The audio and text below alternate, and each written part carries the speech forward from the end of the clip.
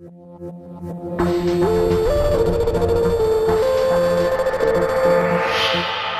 everyone, this is Kyle with Digital Tutors. In today's top tip video, I'm going to be showing you a fast and easy way to access a lot of your most commonly used modeling tools by using a special marking menu in Maya.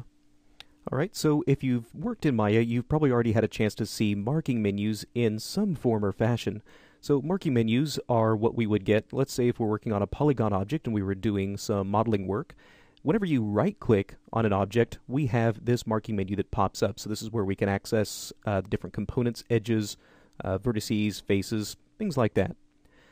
Now, when it comes to our modeling work, uh, accessing a lot of commonly used tools, we do have access to something like the hotbox. So if you press and hold your spacebar, you do have quick and easy access to a lot of your mesh options as well as a lot of other tools in Maya.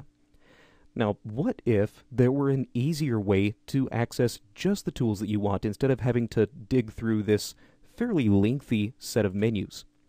Well, as luck would have it, we have exactly that type of functionality.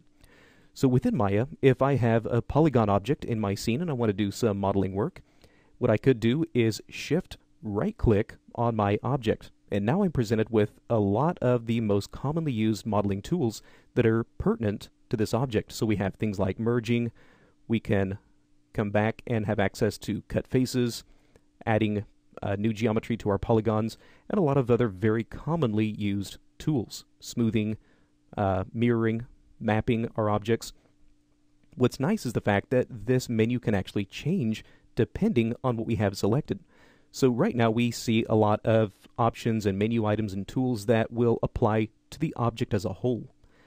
Now, if I were to come in and just simply right click, and let's say we grab a face, and now once again, shift right click, now we have a lot of the tools that will be applicable to this current face selection. So merging faces, cut faces, extruding, and so on and so forth. So very quickly we can come in here and start to work. So coming in, grab a few faces, press the G key to repeat that last command, do a couple of quick extrusions.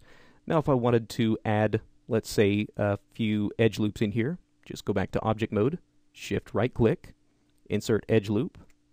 There we are. You can see just how quickly we can start to jump around through these different tools. So maybe adding another quick loop right there.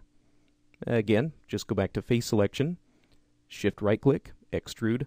You can see just how quickly we can start to move through these different tools. And again, this is all exactly the same features, so press the 3 key on my keyboard and quickly smooth this out. Let's say we wanted to maybe add a little bit of a harder edge right through here. We can, let's say, come in, grab some of these different edges right in here, and now once again, shift right click, and let's use something like our crease tool. So with that active, now just middle click, drag from side to side, add a little bit of creasing, and again, you can see just how quickly we can come in here and start to work. So a very, very quick and easy way of accessing a lot of your most commonly used modeling tools. And sometimes this can be much, much faster than the alternative of going through your hotbox or some of your other marking menus or other options like that. So a very, very nice, very, very useful way of working. Now, this particular marking menu is, again, really primarily applicable to polygon modeling tools. So if you shift right click, again, you'll find a lot of these. If you uh, were to use this option for uh, animation tools, bones, joints, uh, even some types of NURBS objects, uh, you won't be presented with these same menus. So just keep in mind that while this is very, very useful, this is primarily intended to be used for the polygon modeling tools. So that's a look at how we can access this extraordinarily useful menu inside of Maya. Be sure to check back to Digital Tutors often for more top tip videos.